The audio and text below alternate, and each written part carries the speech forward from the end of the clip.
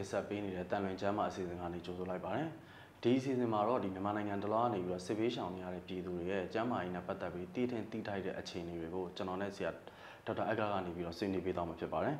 ဒီတော့မှကျွန်တော်တို့ဆွေးနွေးပေးသွားမယ့်အစီအစဉ်ကတော့ဒီဆက်ဆေးတွေနဲ့ပတ်သက်ပြီးတော့ပေါ့လေနော်ပြည်သူတွေကြားထဲမှာလွယ်လွယ်ကူကူရနေတဲ့ဆက်ဆေးတွေကဘယ်လောက်ထိအန္တရာယ်များတယ်ဆိုတဲ့ဟာကိုကျွန်တော်တို့ဆွေးနွေးပေးသွားမှာဖြစ်ပါတယ် ဒီအထူးထူးအချက်တိတ်ကာလကိုအခုကျွန်တော်တို့ဒီပြည်သူတွေကဒါစိုက်ကတ်နေရတဲ့အခြေအနေပေါ့နော်ဒီအထူးထူးအချက်တိတ်ကာလမှာဆိုလို့ရှိရင်လည်းဒီကျန်းမာရေးဆောင်ရှောက်မှုကအရင်လိုလဲကျွန်တော်တို့ကောင်းကောင်းမွန်မွန်လည်းမရှိနေတော့ဘူးအဲ့ဒီတော့ဒီပြည်သူတွေကနီးစက်ရဒီဆက်ဆေးဆိုင်တွေမှာပေါ့လေဒီဆေးဆိုင်တွေမှာဆက်ဆေးတွေဝယ်ပြီးတော့တောက်သုံးနေရတယ်ပေါ့ဆက်ဆေးအန်နေကဘယ်လောက်ထိကြီးမားတယ်ဆိုတာဆရာအနေနဲ့ရှင်းပြပေးပါခင်ဗျာဟုတ်ဆက်စိတ်ဆိုတာအမျိုးမျိုးရှိတယ်ပေါ့နော်တချို့ကဟိုကျွန်တော်တို့တာမန်ချောင်းဆူးလို့တာမန်ဖျားတာနာလို့တောက်တဲ့ဆက်စိတ်မျိုးဆိုရင်ကိစ္စမရှိဘူးပေါ့နော်တချို့တွေကဘာလဲဆိုတော့ဟို အကြိုက်ခဲပြောက်စီ6မျိုးဆက်စီမှတက်တာတယ်အဲတချို့ကဖျားတာဒီစီးတစ်ထုပ်ထင်းနဲ့ပျောက်တယ်ဒီစီးသုံးထုပ်တော့မှပျောက်တယ်ဆိုတော့အယူဆအလွဲမားတွေပေါ့နော်ကျွန်တော်တို့ရှေ့ဘက်ဒီမှာလည်းပြောခဲ့ပြီးပြီတိုကွီးဆိုဘယ်နည်းကြာတတ်တယ်ဆိုတာတွေသူ့လည်းဘာတွေတောက်တင်တယ်ဆိုတာပြောခဲ့တယ်ပေါ့နော်အဲ့လိုမျိုးပဲပေါ့နော်တင့်တော်ရဲ့စီးနဲ့သူ့ဟာနဲ့သူပျောက်မဲ့ယောဂကိုကျွန်တော်တို့ကမလိုအပ်ဖဲနဲ့တခါတည်းနဲ့အပြီးပျောက်ချင်တော့လွယ်လွယ်ကူကူရတဲ့စီကိုတောက်တဲ့အန်ရယ်ပေါ့နော် အဲ့တော့အဲ့စီမှာဘာတွေပါလဲဆိုတော့ပေါ့မူတည်ရယ်ပေါ့များသောအားဖြင့်ဆက်စီးဆိုတဲ့ဟာကျွန်တော်သိသလောက်ကျွန်တော်မြင်ဘူးသလောက်ကိုပြောရမယ်ဆိုရင်ပေါ့နော်ကျွန်တော်တို့အဲ့ထဲမှာအယောင်စုံပေါ့နော်အဝါရောင်လေးပါမယ်အစိမ်းရောင်လေးပါမယ်အနီရောင်လေးတစ်ခုပါမယ်ခပ်ပတ်ကြားတောင်လေးနှစ်ခုသုံးခုပါမယ်အဲဒီလိုမျိုးပေါ့အဲ့ဒီဟာတွေကများသောအားဖြင့်အကြိုက်ခဲပြောက်စီးတွေ steroid လို့ခေါ်တဲ့စီးတွေပေါ့နော်အဲ့ဒီပါတတ်ပါတယ်အဲ့တော့အဲ့အကြိုက်ခဲပြောက်စီးတွေရော steroid ခေါ်တဲ့စီးတွေက ဘာဖြစ်စေလဲဆိုတော့ပထမနံပါတ်1ဘာလို့ဖြစ်မလဲဆိုတော့အစာအိမ်ပေါ့နော်အစာအိမ်တွေးကြောပေါက်သွားတာမျိုးထိဖြစ်နိုင်တယ်အစာအိမ်ရောင်တာရမ်းတဲ့အပြင်အဲ့ထက်ပိုပြီးတော့ဆွဲတောက်မယ်ဆိုလို့ရှိရင်စာအိမ်တွေးကြောပေါက်တာဒီထက်ဆက်ပြီးတော့ဆွဲပြီးတော့ဟောငါတစ်ခါဖြစ်တစ်နေ့တစ်ခါတောက်မယ်ဆိုပြီးဆွဲပြီးတောက်တဲ့ဟာမျိုးဆိုလို့ရှိရင်ကြောက်ကက်ကိုသွားထီတာဒီထက်ပိုပြီးဆိုးလာလို့ရှိရင်နှလုံးယောဂနဲ့သွေးကြောထဲမှာသွားပြီးတော့သွေးကြောတွေမှာဖြစ်တဲ့ယောဂတွေအထိနော်သူ့ရဲ့အနေက ကြောက်စရာကောင်းပါတယ်အဲ့တော့ဆက်စည်းဆိုတာမလိုအပ်ဘဲနဲ့တော့ကျွန်တော်တို့မတောက်တင်ပါဘူးအဲ့တော့အနည်းဆုံးကိုယ့်အနေကိုဆက်စည်းတွေတောက်မယ်စားအဲ့ဆက်စည်းနဲ့အလားတန်တူတဲ့အိမ်မှာဝယ်တောက်လို့ရတဲ့စီးအများကြီးရှိပါတယ်အဲကြောင့်ကျွန်တော်ကတော့ဒီကဏ္ဍမှာကျွန်တော်တို့ဆက်စည်းတွေကိုမတောက်ဖို့အတွက်ကျွန်တော်တို့ပြည်သူတွေကိုအတည်ပြုခြင်းပါတယ်။နောက်ပြီးတော့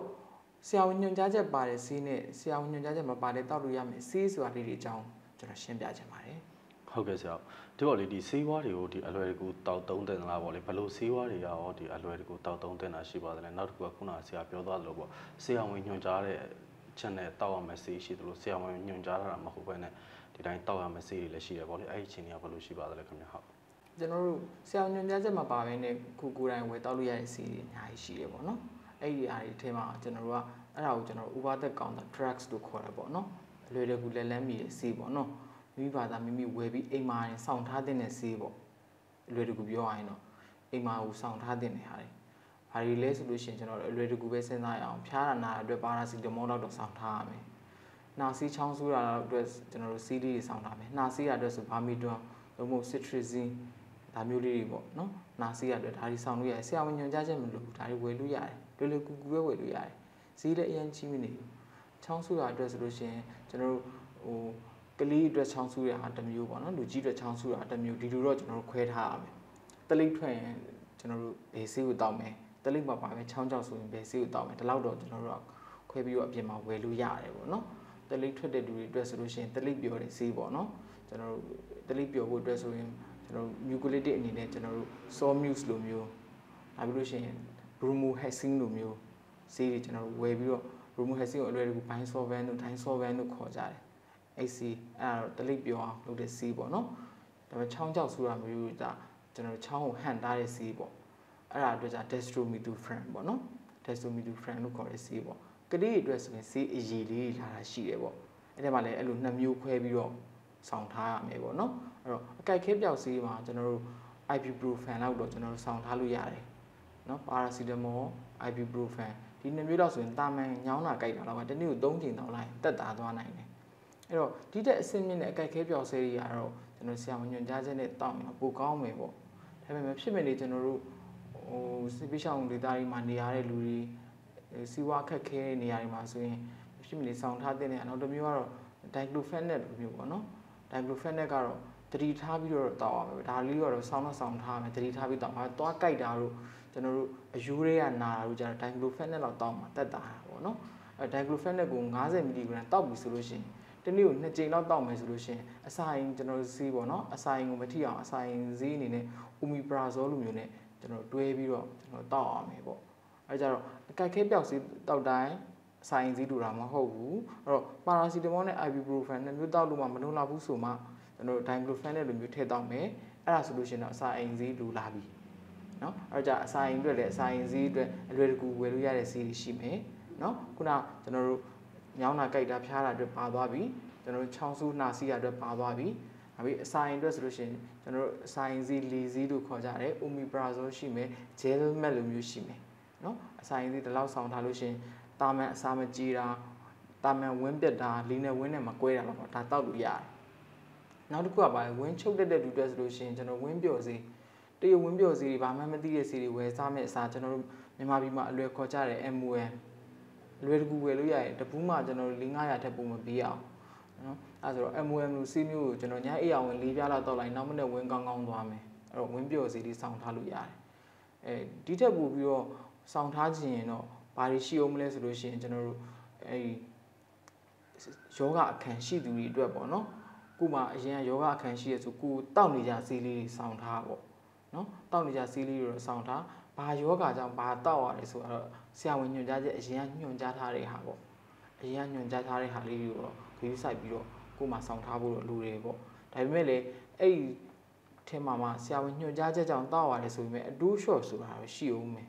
ဒါပေမဲ့ကိုကဆရာဝန်နဲ့တိုက်ရိုက်သွားတွေ့ဖို့ဒါမှမဟုတ်လို့ရှင်လဲဖုန်းခေါ်ဖို့ဖုန်းနဲ့လမ်းပြီးတော့ဆက်သွယ်ဖို့အဆင်မပြေတဲ့အခါတွေမှာဆိုလို့ရှိရင်ကျွန်တော်တို့ဒါရှိနေမတောက်ခွဲနေရတဲ့ဆိုင်တော့တောက်တော့တောက်နေရအောင်ပါပဲအဲ့တော့ အဓိကတော့ကျွန်တော်ဘယ်လိုလူနာတွေမျိုးဖြစ်မလဲဆိုလို့ရှိရင်တွေးတူးသမားတွေ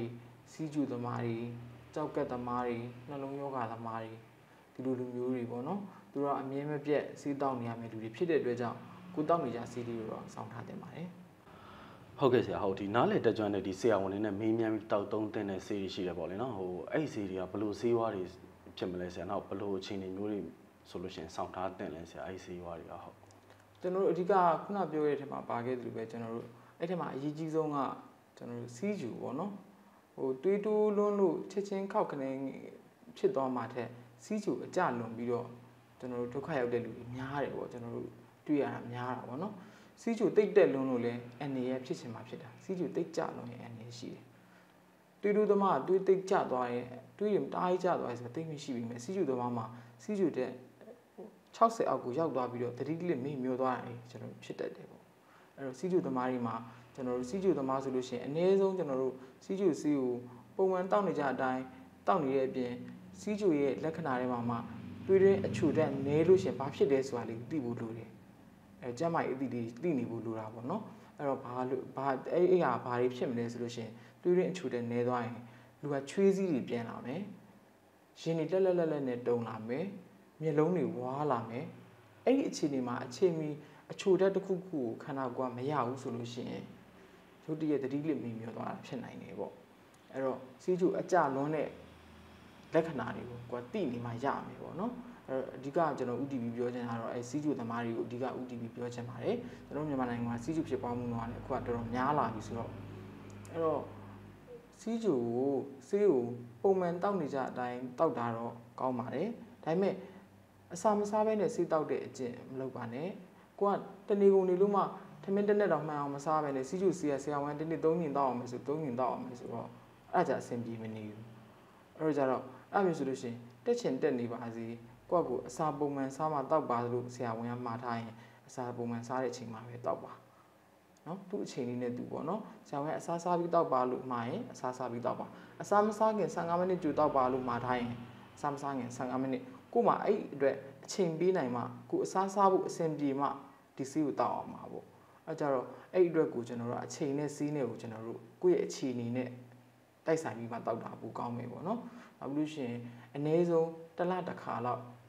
တွေးတွင်းတကြားတက်ဖောက်တာပေါ့နော်ကျွန်တော်တို့ကိုယ့်အကူဝယ်နိုင်ရင်တော့ဝယ်ထားပါပေါ့နော်ကိုယ့်အကူမဝယ်နိုင်ဘူးဆိုလို့ရှိရင်တော့နီးစက်ရကျမ်းမာရေးစီပီကန်သို့မဟုတ်ကျမကြီးဆောင်းလျှောက်တဲ့သူကျမကြီးဆောင်းလျှောက်ပေးနိုင်မဲ့သူပေါ့ သူစီမှာသွားပြီးသွေးရင်းအချူတက်ဖောက်ဖို့ကျွန်တော်တို့အကြံပေးခြင်းပါတယ်ဒါစီးကျူသမားတွေအတွက်ပြောတာပါတွေးလို့သမားတွေလည်းဒီလိုပဲတွေးကြစီကိုပုံမှန်တစ်နေ့နှစ်ကြိမ်ဆိုနှစ်ကြိမ်ပုံမှန်တောက်နေရတော့မှန်တယ်သူကကျမကြီးမကောင်းလို့နှုံးလို့ချီလို့ကိုယ့်ကူတွေးပေါင်တက်လို့တက်မှန်းမသိကြလို့ကြမှန်းမသိတဲ့အနေအထားမျိုးရောက်ရင်တော့အနီးနားမှာတွေးပေါင်ချိန်ဆက်တစ်လုံးရှိနေဘူးတော့လိုမယ်ပေါ့နော်အခုခါမှာတော့ကျွန်တော်တို့တွေးပေါင်ချိန်တာဆရာဝန်ဆရာမမကျွန်တော်ဒါမှမဟုတ်သူနာပြုမှဒါမှမဟုတ်လို့ရှိရင်ကျမကြီးပညာတက်ကျွမ်းတဲ့သူမှ တွေးပေါင်ချိန်လို့ရတာမဟုတ်ဘူး digital တွေးချိန်တဲ့ဟာတွေရှိတယ်အဲ့တော့တီတို့အင်မတန်တက်တက်တဲ့သူအင်မတန်ကြားတဲ့တဲ့သူဆိုရင်တွေးပေါင်ချိန်တယ်လေးစောင့်ထားပါနော်ဒီလိုကိုတယောက်တည်းမတက်နိုင်ရင်မိသားစု9စုပဲဖြစ်ဖြစ်မိသားစု10စုပဲဖြစ်ဖြစ်စုပြီးတစ်ခုဝယ်တဲ့အကျင့်မျိုးပေါ့ကျွန်တော်နိုင်ငံမှာအဲ့ဒါလေးအားနေတယ်ပေါ့နိနော်အဲ့ကြတော့ကိုယ့်ရဲ့ဒါမှမဟုတ်လို့ရှိရင်ကိုယ်စကန်တစ်ခုမှရှိရဆိုလို့ရှိရင်ကိုယ်စကန်တစ်ခုမှအနည်းဆုံးပြီးပေါင်ချင်းတဲ့တစ်ခုရယ်စီးကျူဖောက်တဲ့ဆက်ကလေးတစ်ခုရယ်ဒါလောက်ရှိရင်ကျွန်တော်တို့ဒါလုံလောက်တယ်ပေါ့နော်ဒါမျိုးတွေကို ကျူပြီးတိုင်းမြင်မြင်နဲ့ဒါလေးတွေကိုလှုပ်ထားနိုင်ရင်ပိုကောင်းမယ်အဲ့တော့တိုင်းကြည့်မယ်တိုင်းကြည့်လို့မှဆိုပါစို့စီးကျူတက်နေတယ်ဆိုလို့ရှိရင်လည်းအော်ငါဒီဒီစီရရှော့လို့မရသေးဘူးဆက်တော့အောင်မယ်ဆိုတာမျိုးအော်ငါစီးကျူအရန်ကြနေပြီအဲ့ဆိုလို့ရှိရင်ငါတရားနဲ့တိုင်ပင်မှဖြစ်မယ်ဆိုတာမျိုးတူတူသမားဆိုလို့ရှိရင်အာငါတွေးတအားတိုးနေပြီစီးကတော့မပြက်ရဘူးပြက်လို့မဖြစ်ဘူးစီးကိုပုံမှန်တောက်အောင်မယ်အဲ့တော့စီးအတူအတူရှော့လို့ဖို့ငါလိုအပ်လာပြီလို့ထင်လာပြီဆိုလို့ရှိရင်တော့နီးစပ်ရကျမ်းမာရေးစောင့်ရှောက်မှုပြီးရတူနဲ့တွားပြီးတိုင်ပင်ရမယ် အဲနောက်ကြောက်ကက်သမားတို့နှလုံးသမားတို့ဆိုတော့ကျွန်တော်စီးပြက်လို့လုံးဝမရပါဘူးအဲ့တော့စီးပြက်လို့လုံးဝမရတဲ့အတွက်ကြောင့်ကြုံရင်ကြုံတဲ့နေရာမှာစီးဝယ်နိုင်မှုဒါမှမဟုတ်လို့ရှိရင်စီးပြီးနိုင်မဲ့လူရှိရင်စီးပြီးနေတဲ့နေရာကိုသွားဖို့ကိုကိုယ်တိုင်မသွားနိုင်တဲ့လူဆိုလို့ရှိရင်လေကိုယ့်ရဲ့စီးမှတ်တမ်းလေးသိနေအကျင့်ပေါ့နော်ကျွန်တော်နေရာတနေရာကိုသွားပြီဆိုရင်စီးမှတ်တမ်းစာအုပ်တစ်ခုကရွှေငွေထက်တန်မှုရှိတယ်ပေါ့လေနော်ကိုယ့်ရဲ့ယောဂမှတ်တမ်းကိုရေးထားတဲ့စာအုပ်ကိုကြည့်ပြီးမှကျွန်တော်တို့ဆရာဝန်ပဲဖြစ်ဖြစ်ကျန်းမာရေးဆောင်ရှောက်မှုပေးရတဲ့လူပဲဖြစ်ဖြစ် ဒါလေးကိုကြည့်ပြီးမှအော်သူဒီလူရောကတွေးပေါင်ခြင်းဒီလောက်ရှိပါလားတွေးရင်းအချူတဲ့ဒီလောက်ရှိပါလားသူ့ရဲ့ယောဂအခြေအနေကဒီလိုရှိပါလားသူ့ရဲ့ကြောက်ကက်အခြေအနေဒီလိုရှိပါလားစသဖြင့်ပေါ့နော်သူ့ရဲ့ယောဂအခြေအနေကိုကျွန်တော်တို့ကသိနိုင်မယ်သိနိုင်မှသာကျွန်တော်စီးကိုအတိုးလျှော့လုပ်လို့ပြီးပြီးလို့ရမယ်နောက်ပြီးလို့ရှိရင်အဲ့ဒီစာအုပ်ကိုကြည့်ပြီးမှသူတောက်လက်ဆစီးတွေဘာတွေဆိုကျွန်တော်တို့ကသိလို့ရမယ်ပေါ့အဲ့ရတဲ့ကြောင့်ကျွန်တော်တို့ကကိုယ့်ရဲ့ကျန်းမာရေးနဲ့ပတ်သက်တဲ့စောင့်ရှောက်မှုပေးထားတဲ့ဘယ်နေရာမှာပဲပြထားတဲ့စာအုပ်ဖြစ်ပါစေ ကိုယ်နဲ့အမြင်မကွာဆောင်ထားပါကျွန်တော်မှတ်ပုံနဲ့တစ်ခုသိမ်းသလိုပဲကျန်းမာရေးစောင့်ရှောက်မှုပေးတဲ့စာအုပ်ကိုလည်းကျန်းမာရေးမှတ်တမ်းစာအုပ်တွေကိုလည်းကျွန်တော်သိမ်းထားတဲ့အသေးကျင့်တွေလုပ်ပေးပါဘယ်သွားသွားအဲ့ဒီဟာနဲ့သွားပါလူကိုယ်တိုင်မသွားနိုင်ရင်ဒီစာအုပ်ကိုကြုံတဲ့လူတယောက်နဲ့ထည့်ပြီးတော့စေးဆိုင်သို့မဟုတ်စီပီကန်သို့မဟုတ်ကျမ်းမာရေးစောင့်ရှောက်မှုပေးတဲ့လူမှာဒီဆေးတွေလိုအပ်ပါတယ်လို့ပြီးပြီးတောင်းရင်ကျွန်တော်တို့ဒါဘာပဲဖြစ်ဖြစ်ကိုယ်သဘောနဲ့ကိုယ်တောက်တာတဲ့ဆိုင်တော့အများကြီးအဆင်ပြေနိုင်မယ်လို့ကျွန်တော်အကြံပေးခြင်းပါတယ် ဟုတ်ကဲ့ဆရာဒီပေါ့ဒီကျွန်တော်အရက်ထဲမှာဖြစ်နေတဲ့ပြဿနာကြီးဆိုလို့ရှိရင်ပေါ့လေဒီဆက်ဆေးတွေတောက်တယ်ပေါ့ဆက်ဆေးတွေတောက်ပြီးတော့လို့ရှိရင်လူရဲ့ဒီအသက်အန္တရာယ်တွေစိုးရင်ရတဲ့အခြေအနေမျိုးတွေတချို့ဆိုကြုံတွေ့ခဲ့ရတာကျွန်တော်တို့လည်းဒါမြင်နေတွေ့နေရတဲ့အခြေအနေတွေရှိတယ်ပေါ့လေအဲ့တော့ဆက်ဆေးကသုံးဆွဲတင်လားမသုံးဆွဲတင်လားဘလို့အခြေအနေမျိုးတွေမှာဆက်ဆေးရောင်းတဲ့သူတွေရောဖြစ်ပြည်သူတွေရောဖြစ်ဆရာအနေနဲ့ဗာများပြောချင်တာရှိပါသလဲခင်ဗျာအဓိကရောင်းတဲ့လူတွေကိုကျွန်တော်တို့အပြစ်ပြောမှုထက်ကျွန်တော်တို့က customize always right ပေါ့နော် ကျွန်တော်တို့ကဝယ်တဲ့လူရှိလို့ရောင်းတဲ့လူရှိတာပေါ့အဲ့တော့ဝယ်လူရှိလို့ရောင်းတဲ့လူရှိရောဝယ်တဲ့လူတွေကိုပဲကျွန်တော်တို့ကဦးစားပေးပြီးပြောအောင်လို့ဖြစ်နေတယ်ပေါ့နော်အဲ့တော့ကျွန်တော်ကျွန်တော်ပြည်သူတွေဘယ်နေရာပဲရောက်ရောက်ဆက်စည်းဆိုတာတွေမယုံပါနဲ့ပေါ့နော်ဆက်စည်းဆိုတာကစီးဆိုင်ကပဲဆက်ပြီးတဲ့စီးပဲဖြစ်ဖြစ်ကိုရံဆိုင်ကပြီးဆက်ပြီးတဲ့စီးပဲဖြစ်ဖြစ်ဘယ်နေရာပြီးဟာဖြစ်ဖြစ်ဘယ်ဆရာဝန်မှဆက်စည်းမပြီးဘူးဘယ်တကယ်ကျမ်းမာရေးတက်ကျွမ်းနားလေလူကဆက်စည်းမပြီးဘူး ဆေးဆက်ပြီးရဆိုရင်တော့မှကျွန်တော်တို့ကသူ့အတွက်ဖြားတဲ့အတွက်ကြောင့်ဆိုလို့ရှိရင်ဒီဟာတစ်ခွက်စာဒီဟာ၃မျိုးဒီနောက်တစ်ခွက်စာဒီလိုမျိုး၃ခွက်စာသူ့အတွက်လိုရတဲ့ဟာကိုပဲပြီးလိမ့်မယ်အဲ့လိုမျိုးမဟုတ်ဘဲနဲ့တယောက်နဲ့တယောက်လက်ဆင့်ကမ်းပြီးတောက်တဲ့ဆက်စည်းလိုမျိုးကအန်ဒီရဲ့ပူကြည့်ပါတယ်ကျမတို့ကကျွန်တော်တို့ကဒူးနာခါနာတို့ကဒီစီတောက်လိုက်တာတစ်ခွက်တောက်တာနဲ့တဏီကုံတိတိတာတာကောင်းသွားတယ်အဲ့တော့တောက်ကြည့်ပါလားလို့လက်ဆင့်ကမ်းလာတဲ့ လေ့ကျင့်နည်းတွေကိုဖျောက်ပြီးပါသူများပြောတဲ့မယုံပါနဲ့သူ့ယောဂနဲ့ကိုယ်ယောဂနဲ့တူချင်မှတူပါလိမ့်မယ်အဲ့တော့သူနဲ့အဲ့ဆေးကတဲ့ပေမဲ့ကိုနဲ့ဆေးကမတဲ့တာလည်းဖြစ်နိုင်ပါတယ်အဲ့ဆက်ဆေးဆိုတဲ့မှာကျွန်တော်မမြင်နိုင်တဲ့ကျွန်တော်မခံမနိုင်တဲ့ဆေးမျိုးစုံပါနိုင်တယ်ဆေးမျိုးစုံပါနိုင်တဲ့အတွက်ကြောင့်ဆေးတစ်ခုနဲ့တစ်ခုကလူရဲ့ခန္ဓာကိုယ်တုံ့ပြန်မှုချင်းမတူတဲ့အတွက်ကြောင့်ဆေးမတဲ့ရင်သိတတ်ပါတယ်ဘယ်ဆေးမဆိုကျွန်တော်တို့ပနက်စင်မှမတဲ့တာမဟုတ်ဘူး ကျွန်တော်ဘာပလက်မှမတဲ့တာမဟုတ်ဘူးကျွန်တော်တို့တချို့ဆိုလို့ရှိရင်ဘယ်လောက်တောင်ကြုံမှုလဲဆိုတော့ကျွန်တော်တို့အကျိုးစီးထူးတဲ့အားစီးဖြစ်တဲ့ကျွန်တော်တို့ glucose တောင်မတည့်တဲ့လူရှိပါတယ်ပါရာစီတမောတစ်ချမ်းတောက်တာနဲ့မျက်နှာမှာအင်မီနီထားပြီးသွေးပေါင်ထိုးကြပြီးရှော့ရသွားတယ်လူရှိတယ်